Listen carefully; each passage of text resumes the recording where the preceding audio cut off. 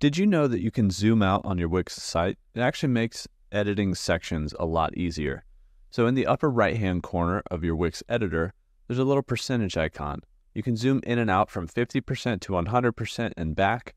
So if we zoom out, it actually gives us this much more zoomed out view of our entire website.